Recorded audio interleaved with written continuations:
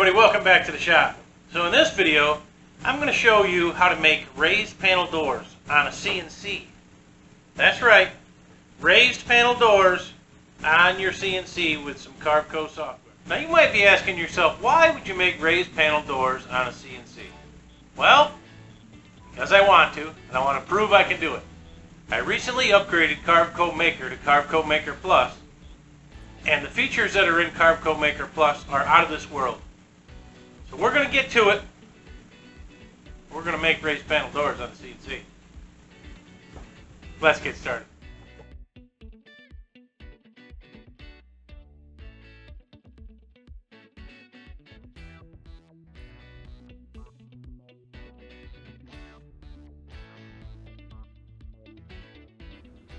Okay, so there are two different ways you can do these doors. One is a more traditional way where you create a rabbet around the outside and create just the raised panel. The other way is to use the machine to create the entire door, the frame and all of it. Now before we begin, as I always say, there's many ways to do this programming. This is just the way that I do it. So let's get started here. I've already opened up Carveco Maker Plus. I've increased the size of this new model menu just so that you can see it and you can do that by grabbing the corner here and reducing it or increasing it. We're going to use 16 by 24 as just an arbitrary number to get started. I'm working in inches. We can leave the resolution cranked up. We don't need to change that. We're going to put the origin in the center. We're going to click OK. Now as you can see it opens up to a work area and the first thing we need to do is create a square that matches the size of our work surface. The first one we're going to work on is the panel alone, or the only the panel section, not the one with the frame around it. So let's switch to the 2D view up here with this tab. We'll begin by clicking on the square. In the corner, if you'll notice, the cursor changes when you hit the corner. It changes from a crosshair to a scope looking image, left click and drag down and to the right to the other corner, release when you hit the corner with the crosshair change, over here to create, you now have a box that matches or a border that matches the size of your work surface. You can close out the square rectangle tool. Now because this is going to be a panel only, we need to create the one half inch rabbet that runs all the way around the outside that is used to insert into the frame panels that you'll create using traditional techniques with your table saw or your router. So in order to create that offset, the easiest way is to go here to the bottom left, click on this offset tool. This menu will open on the right. We want that offset distance to 0.5. I've already got mine set. We want it to be inward Outward would pop out to the outside of the box. That wouldn't work for us. Inward would be obviously in. And both sides will create an offset on each side. So inward is what we're looking for. Sharp corners and click offset. So we now have the one half inch that we need to slide the frame pieces over top of. Let's go back to the 3D view now. Now we need to create a base. In other words, we have to raise the stock material one quarter of an inch upward. And you can see that we have this vector highlighted at this point. You don't want that vector lighted. You want the outside vector lighted or lit. We're going to go to plane over here. This is going to be a plane selection. We don't want a point or a round. We're going to give this thing a start height right here of 0.25. You're going to want to have add selected and you'll go down here to click apply.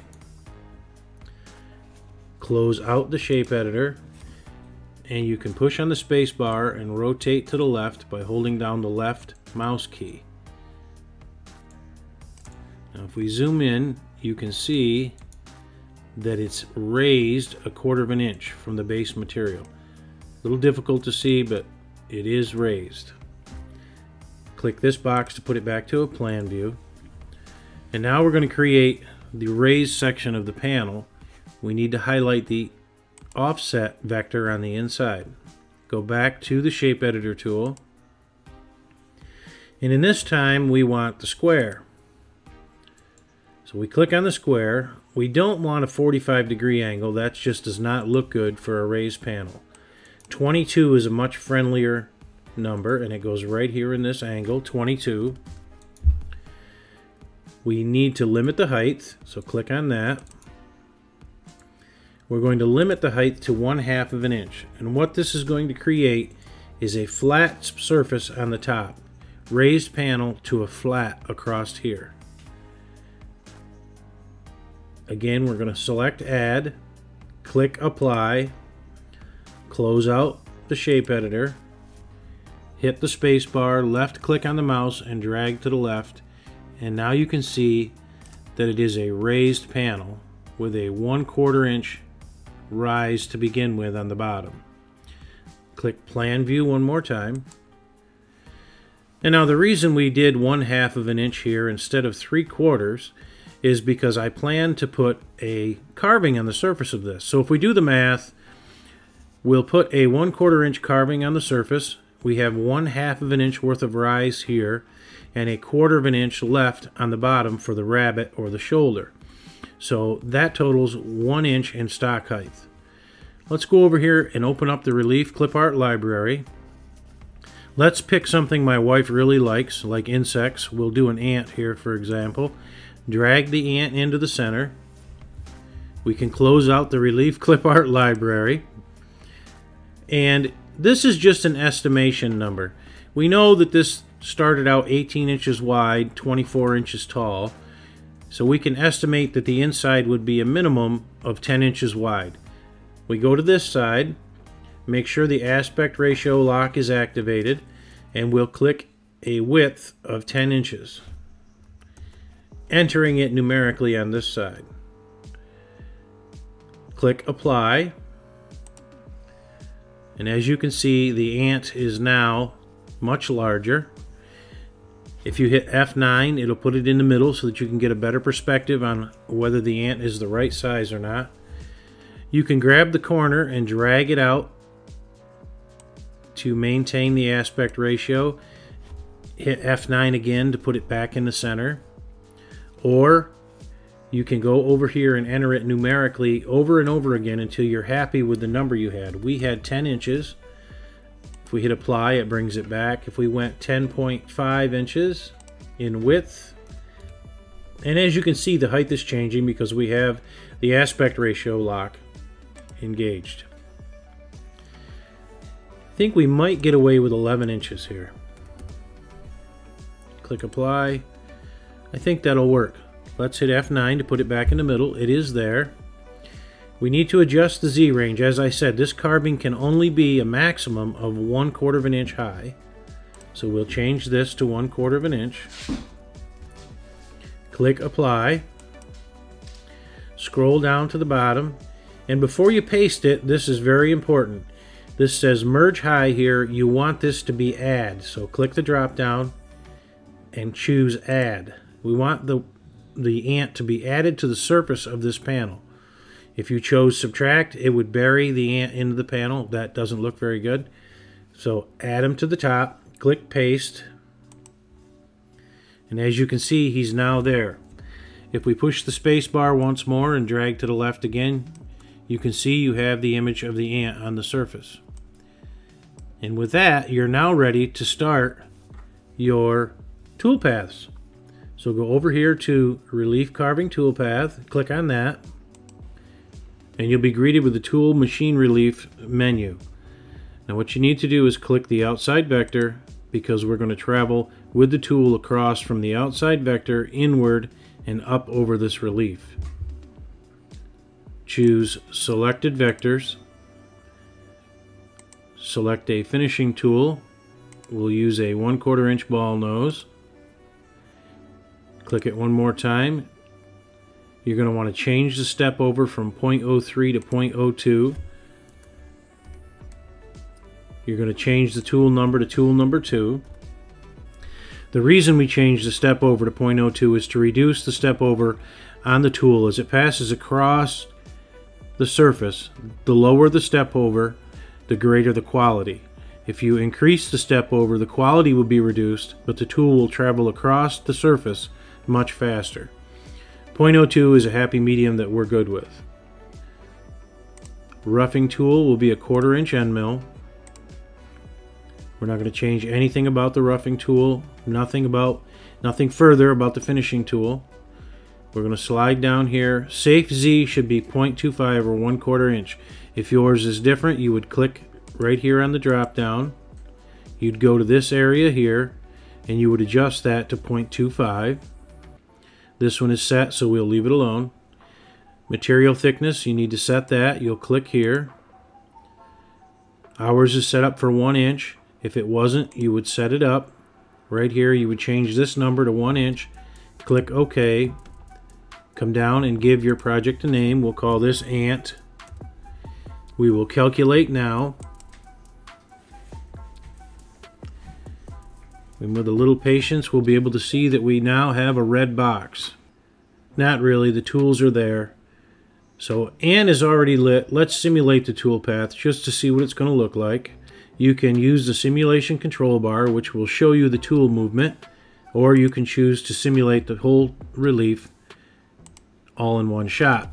And that's typically how I'll do it because I don't have the patience to wait for the tool to go across. You can then push the space bar again and rotate to the left. And now you can see that you have a raised panel with a beautiful ant on it that my wife is absolutely in love with. Not really. You'll have a one quarter inch by one half inch deep flange on the right hand side all the way around. Not on the right, it'll be all the way around. Let's go back to a plan view to flatten that back out. So that flange will now be recessed into the border that you create with your table saw or your router table. Now obviously when I did this I didn't put an ant on these little mock-up doors. I used some grapes and I wanted to show you the importance of the adding and the subtracting of things.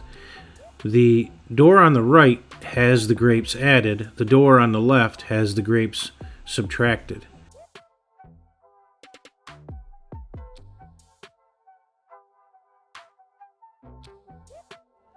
So now that we've got the panel portion made, we can move on to the other style where the border or the framework is included in the outside edge.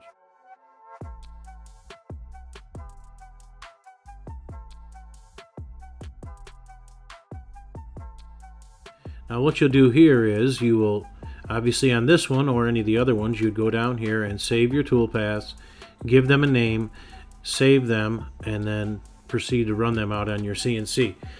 But let's move on to the other one.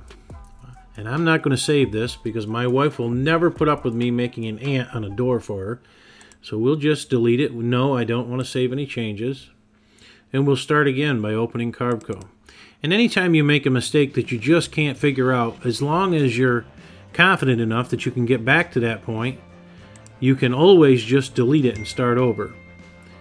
Now, we're going to start again with a model that is 16 by 24 again. We're going to put the origin in the center, dealing with inches, click OK. And the difference here then, or now, is this work surface now becomes the exact dimension of the door you're trying to create. So we are going to create a door that is 24 by 16. And we're going to start the same way we did before. We're going to go back to the 2D view. We're going to go back to the square, create the square that matches the size of the door. Create the square. Shut off the square tool. Go back to offset tool. Now this time, what we need to know is what size frame do we want to run around this door. Standard is inch and three quarters, so we'll change this dimension to 1.75. We'll offset inward again. Click down here on offset. Go back to the 3D view.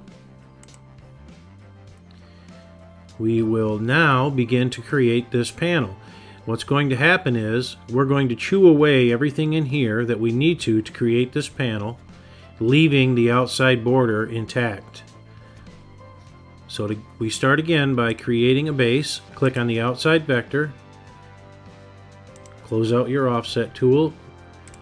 go to the shape editor. Just like before, we leave it in plane mode. We want to start height of 0.25. We want to add. We'll hit apply. We now have a 24.25 inch rise in the material. Close out the shape editor. Click on the inside vector. Open shape editor once more. Go back to square. This is all very similar to the other way of doing this.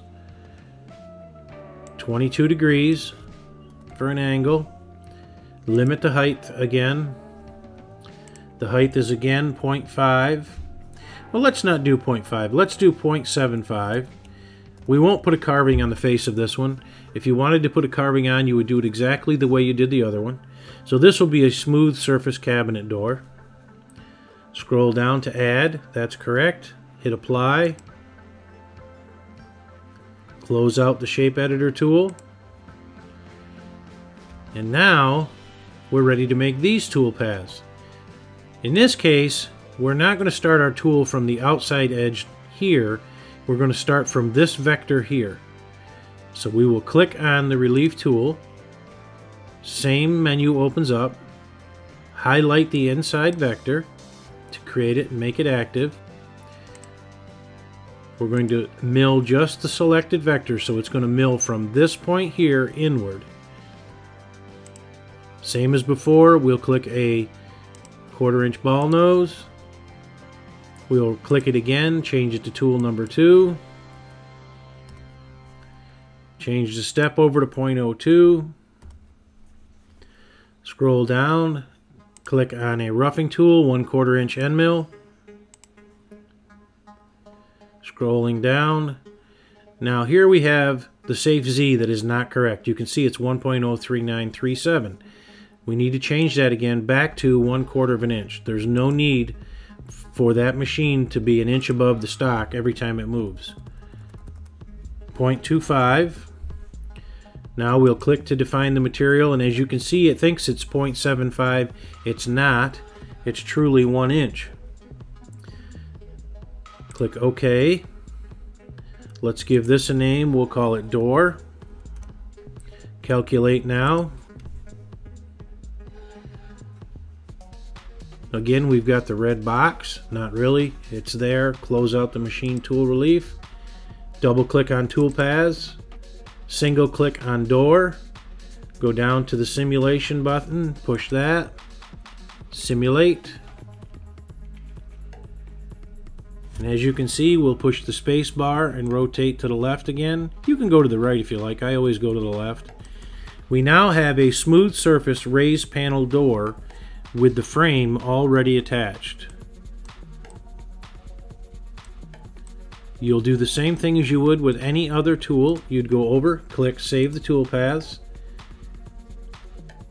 Number one tool is roughing, number two is finishing, that's correct. You would enter a name here, you would save it, it would be on your desktop, and you would run it the way you normally would. So there you are folks, raised panel doors on a CNC machine. I hope you got something out of this video. I hope you enjoyed the video. I hope maybe you learned something from it. Carveco Maker Plus is new to me. We're going to continue with these tutorials as I grow my skill set. So give me a like, a share, and a comment. And as always, we'll catch you on the next one.